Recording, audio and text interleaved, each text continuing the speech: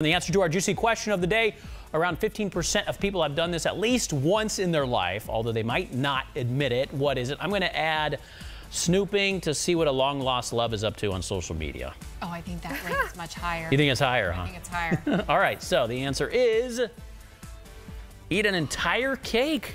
That's a lot of cake. Yeah. Oh, but that's so good. If- Hey, why not admit it. to it? Come on.